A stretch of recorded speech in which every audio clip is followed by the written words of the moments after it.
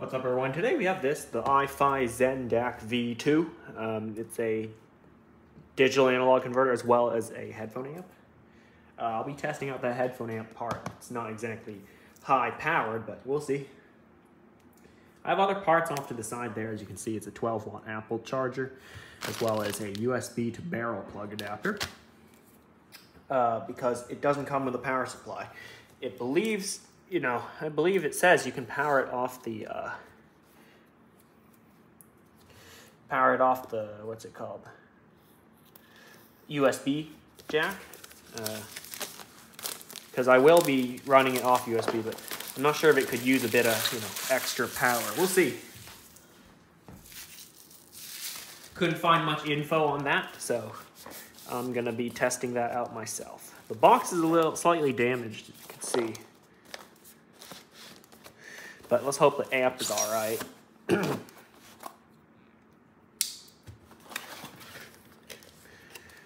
right, so it comes with a sticker right there. Uh, manual.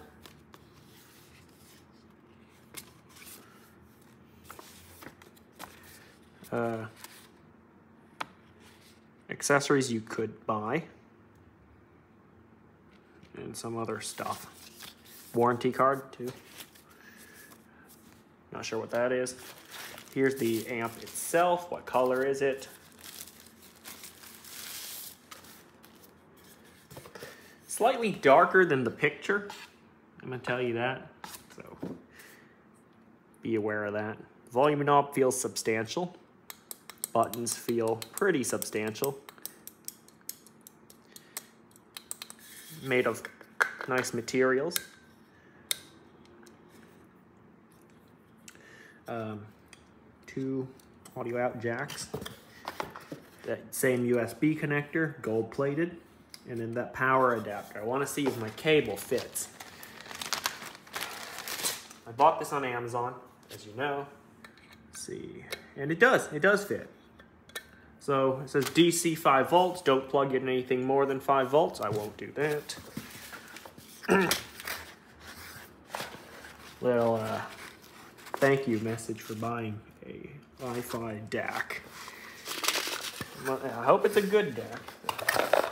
Oh, accessories. I wonder if it comes with a power adapter. Doubt it. Oh, they put they put the box in correctly. Oh, it's on both sides. The little thing. I'm not sure you can see. It says iPhone. on that. Very subtle. Attention to detail. I like it. in here, you get a very short pair of RCA cables. And you get a very short uh, USB 3.0 to Type B USB 3.0 cable. And you also get this. It's a very nicely made uh, quarter inch to 3.5 millimeter jack to connect to smaller headphones. Not smaller, but uh, normal headphones. More common kind. Even though most of my headphones already have it. This also is a balanced out. I might buy some balanced cables for my other headphones if I like this one, if I like this DAC.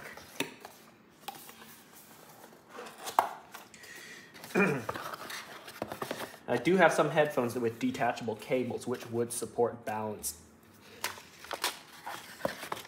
uh, a balanced uh, cable for more power, you know, and supposedly better sound.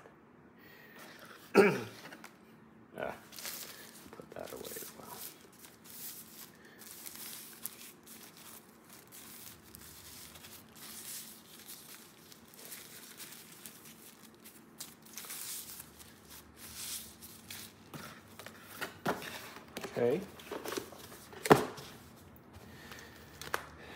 All right, let's just see if it even turns on. Is it always on? I don't know. There's only one input, USB. So I'm not sure why they have that power jack there. I guess for additional power. Because uh, there's no other inputs. It's a USB DAC. So that's why I said, you know, Give it some extra power. I'll be running stuff like an HD6XX here, which is, I would say, considerably power hungry. I'm surprised I found the cable. I'll link it in the description if it works. If it doesn't, probably not.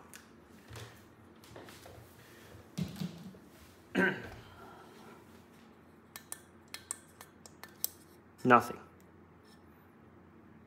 Does it need to be? Oh, wait, no. It detects external power. It's green, so I think that means it is working. But I'll have to test that. I think it needs a USB input. It feels really nice, really nice materials. Nice uh, buttons and all that. Little high-res audio sticker there, like it. Yeah, I do want to test out balanced audio. And I really like the little adapter included. It looks really high quality. Um, these RCA cables, they're RCA cables. I think it's meant to connect to like a... they're really short, so I'm not sure what you're going to use these for.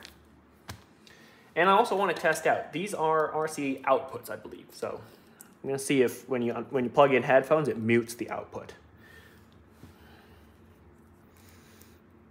I mean, like, what are you plugging this into? It's only like a foot long.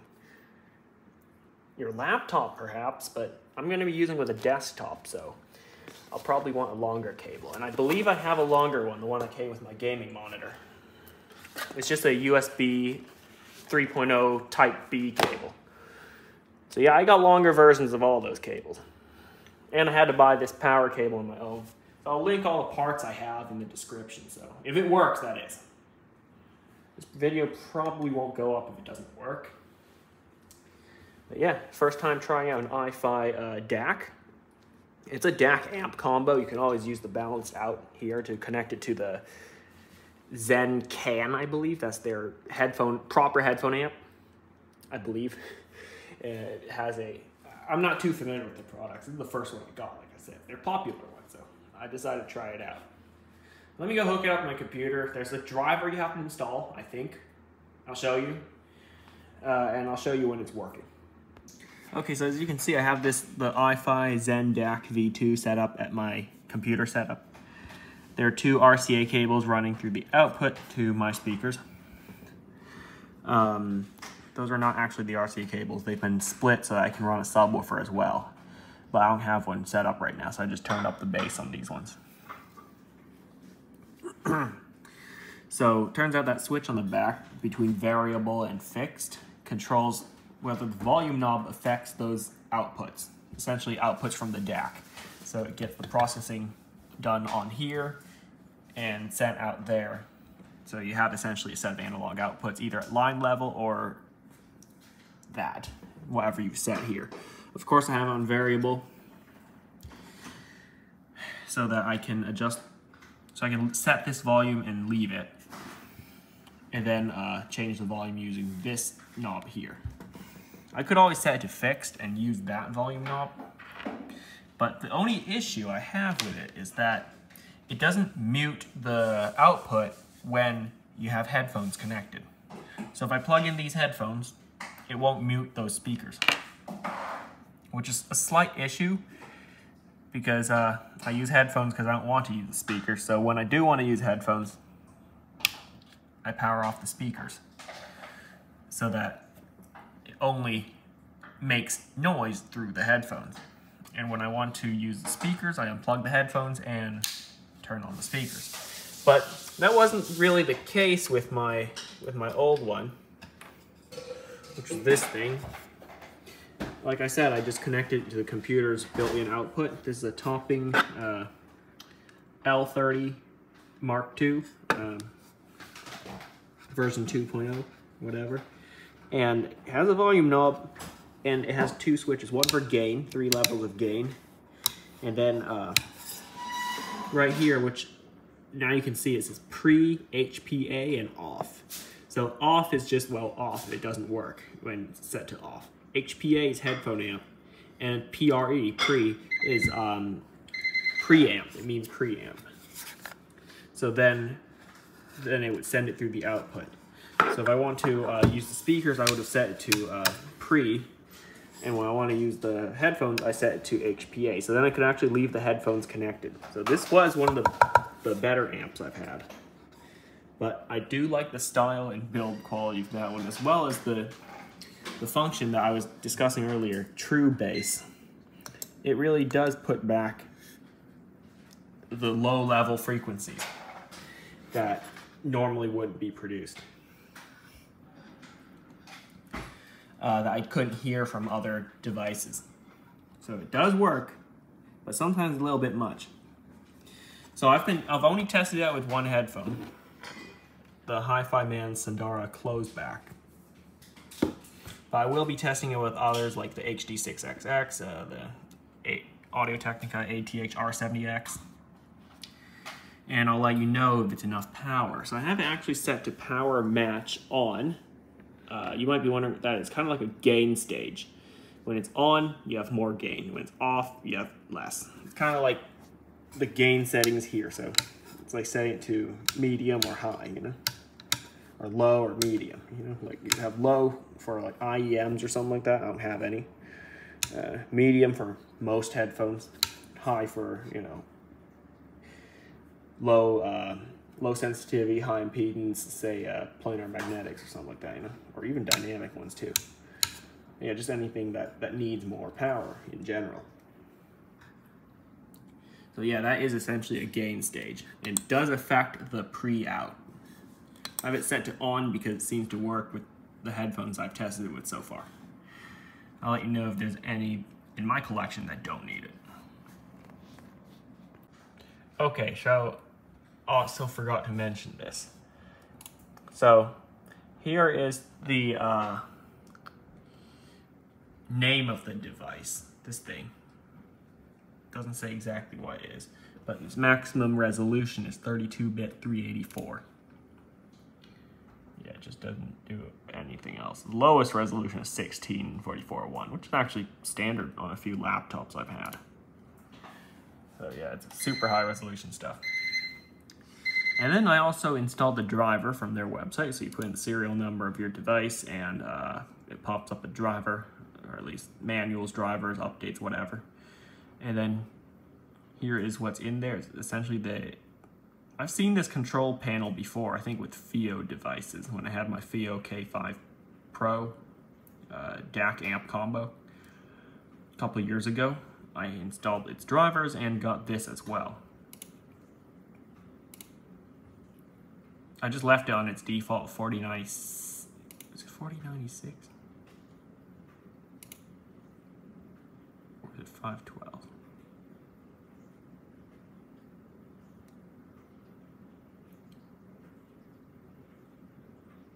Hmm.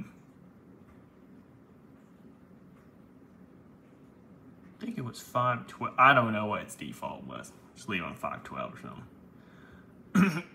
anyway, info, yeah, this stuff. Why is it serial number three? That's a very different one. Whatever, maybe it's pulling the wrong info. But it's interesting how when I set it to 64 samples, the output latency is still 2.5.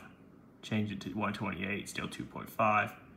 All the way up to 124, that changed to 4.5, so perhaps that's why it was at 512 because that was the biggest buffer size that wouldn't change the output latency. I don't know.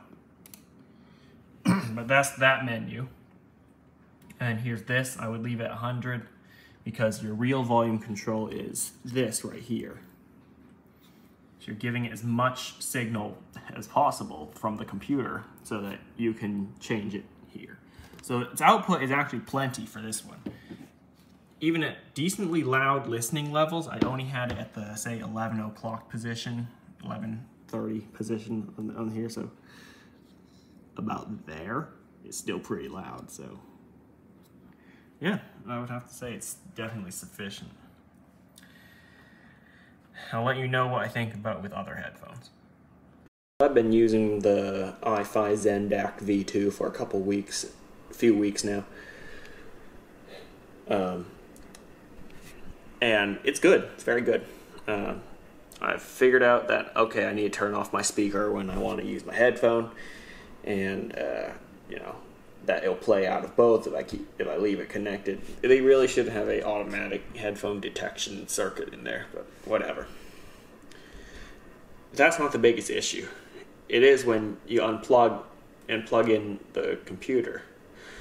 When you unplug it and plug it back in from the computer. So apparently that warning was real when I installed it. So something like you know, you may have to reinstall this software if you change what plug it's plugged into, depending on your computer or something like that, something along those lines. Anyway, I did. I unplugged my computer to clean it. I haven't cleaned my computer in a while, so I did that. Took it out to the garage, cleaned it out, and when I brought it back in, plugged everything back in, everything worked except for this. So I reinstalled the driver. That didn't fix it. Um, I unplugged and plugged back in the USB. That didn't fix it. I changed the USB port. That didn't fix it. You know what did fix it? You have to unplug the auxiliary power as well, as well as the USB port. You gotta do both, and then it works. But I'm not gonna experiment again with it. Uh, only do that when I have to. Not for YouTube. Uh, it's working right now. Don't need to change it. It's good as it is. It's actually connected to a USB hub right now, I believe. So, just to save up another USB 3.0 port. It does power all my headphones. You know, small stuff like the easy to drive stuff like the Sony MDR1A M2, as well as I'd say more power hungry stuff like this, the Audio Technica ATH R70X. 400 and what, 70 ohms? 400 something ohms. Uh, that's a lot. And it powers my HD6XX, which is 300 ohms. So, I think it's 300. Uh,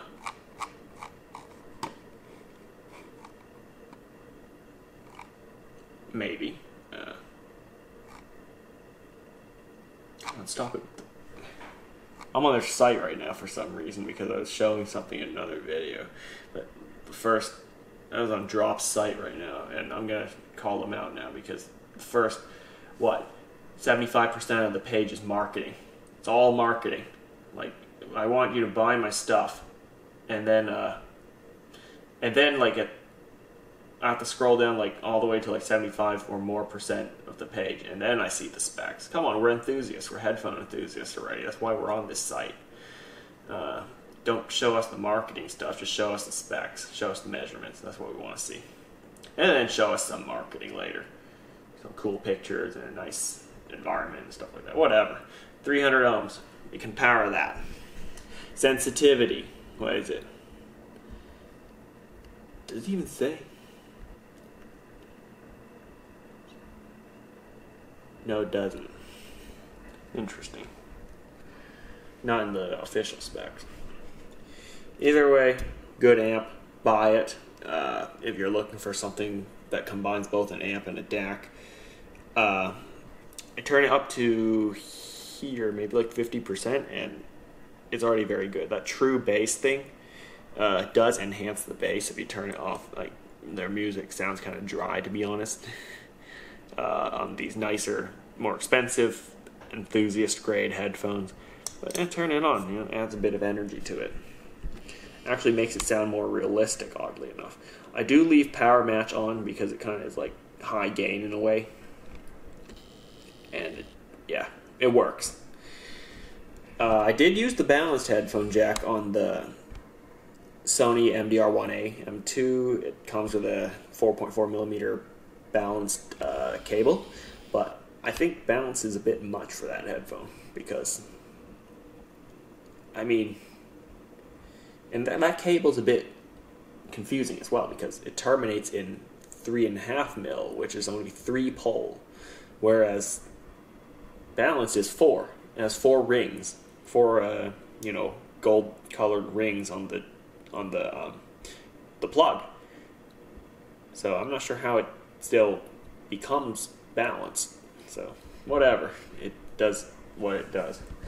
I might get a proper balanced cable for one of my headphones uh, that you know like use two two cables, for example, that one, and see if that makes a real difference other than a lot more power. Because yeah, I had to only turn it up and say, oh no, maybe that much to to be already uncomfortably loud with the MDR1A yeah, this much is okay from the unbalanced uh, jack for others is plenty loud. I usually leave it around there. when I'm listening through my speakers, I mean, there isn't as much difference. So, like, this, the 9 o'clock to 12 o'clock doesn't make much of a difference, just slightly. So, there's my final thoughts about the iFi Zendac V2. Do buy it, it's a really nice amp. All the stuff that I used for it um, will be linked in the description you do need to know a little bit about messing around with computers and drivers and software and stuff like that if you want to use it to its fullest. Actually, even use it at all. And if you move your computer, be prepared to set this thing up again. Anyway, thanks for watching. Hope you enjoyed the video. Remember to like, comment, and subscribe, and I'll see you next time.